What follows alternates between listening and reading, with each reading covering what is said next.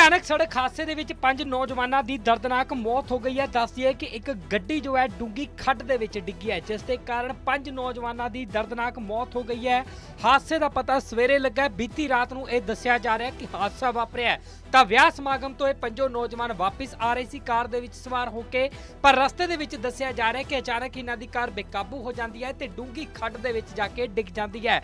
ਜਿਸ ਦੇ ਕਾਰਨ ਪੰਜਾਂ ਹੀ ਨੌਜਵਾਨਾਂ ਦੀ ਮੌਕੇ ਦੇ ਉੱਤੇ ਮੌਤ ਹੋ ਜਾਂਦੀ ਹੈ।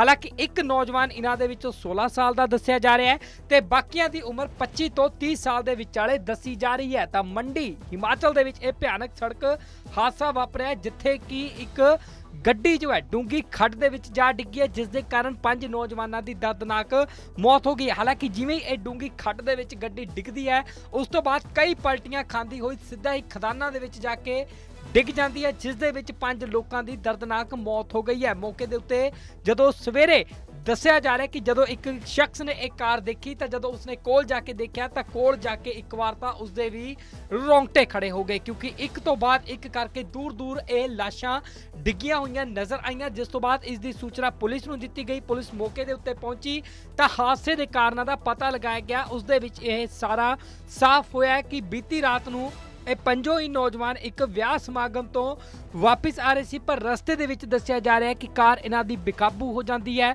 ਬੇਕਾਬੂ ਹੋਣ ਤੋਂ ਬਾਅਦ ਡੂੰਗੀ ਖੱਡ ਦੇ ਵਿੱਚ ਕਈ ਪਲਟੀਆਂ ਖਾਂਦੀ ਹੋਈ ਜਾ ਕੇ ਜਦੋਂ ਡਿੱਗ ਜਾਂਦੀ ਹੈ, ਤਾਂ ਉਸ ਦੇ ਵਿੱਚ ਪੰਜ ਨੌਜਵਾਨਾਂ ਦੀ ਮੌਤ ਹੋ ਗਈ ਹੈ। ਤਾਂ ਦੱਸ ਦਈਏ ਕਿ ਇੱਕ ਪਾਸੇ ਇਹ ਖੁਸ਼ੀ ਮਨਾ ਕੇ ਆ ਰਹੇ ਸੀ, ਪਰ ਇਹਨਾਂ ਨੂੰ ਸ਼ਾਇਦ ਨਹੀਂ ਸੀ ਪਤਾ ਕਿ ਇਹ ਇਹਨਾਂ ਦੀ ਆਖਰੀ ਰਾਤ ਹੋਵੇਗੀ। ਤਾਂ ਦੱਸ ਦਈਏ ਕਿ ਵੱਡੀ ਖਬਰ ਮੰਡੀ ਤੋਂ ਸਾਹਮਣੇ ਆ ਰਹੀ ਹੈ, ਜਿੱਥੇ ਕਿ ਵਿਆਹ ਸਮਾਗਮ ਤੋਂ ਵਾਪਸ ਆ ਰਹੇ ਪੰਜ ਨੌਜਵਾਨਾਂ ਦੀ ਸੜਕ ਹਾਦਸੇ ਦੇ ਵਿੱਚ ਦਰਦਨਾਕ ਮੌਤ ਹੋ ਗਈ ਹੈ। ਫਿਲਹਾਲ ਮੌਕੇ ਤੇ ਪੁਲਿਸ ਪਹੁੰਚੀ ਹੈ ਤੇ ਮਾਮਲੇ ਦੀ ਜਾਂਚ ਸ਼ੁਰੂ ਕਰ ਦਿੱਤੀ ਗਈ ਹੈ।